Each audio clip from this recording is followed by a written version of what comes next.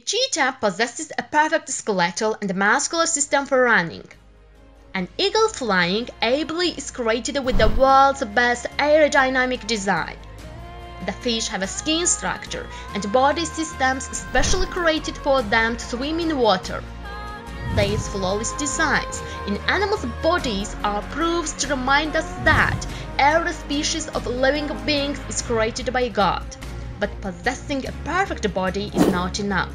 The animal also has to know how to use that body. A bird's wings are useful only when it succeeds in taking flight, soaring and landing with them.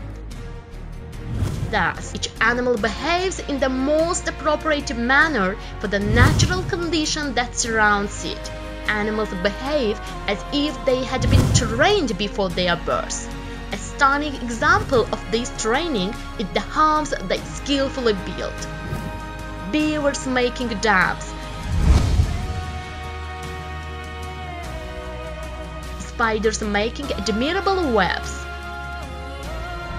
fish making sturdy homes at the bottom of the sea, termites building mounds with ventilation system are only several architects in the nature.